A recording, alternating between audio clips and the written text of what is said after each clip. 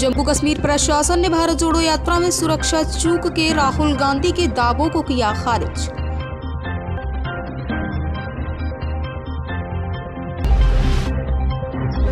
बक्सर के अमर वाटिका पर नक्सल मोर्चे में बलिदान देने वाले 1024 जवानों के नाम।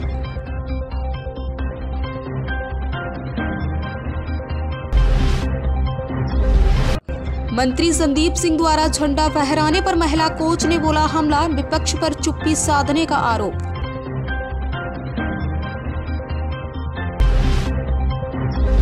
सनातन धर्म ही भारत का राष्ट्रीय धर्म, भगवान राम के मंदिर को किया गया अपवित्र। सीएम योगी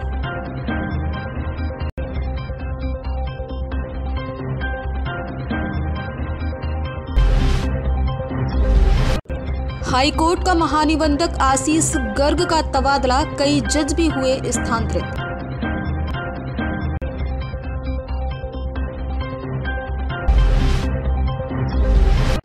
यूपी की बड़ी कैबिनेट मीटिंग आज कई अहम मुद्दों को लेकर लिए जाएँगे बड़े फैसले।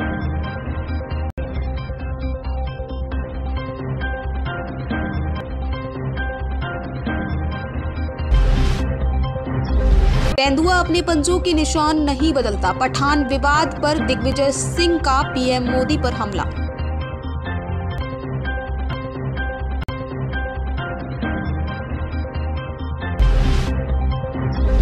शुरू हुई चार धाम यात्रा की तैयारियाँ। 26 अप्रैल को खुलेंगे केदारनाथ धाम।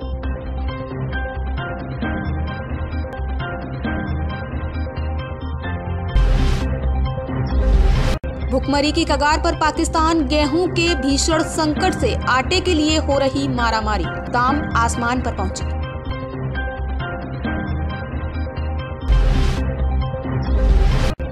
नागालैंड विधानसभा चुनाव में आईटी विभाग ने चुनावी खर्च पर नज़र रखने के लिए निगरानी टीमों का गठन किया।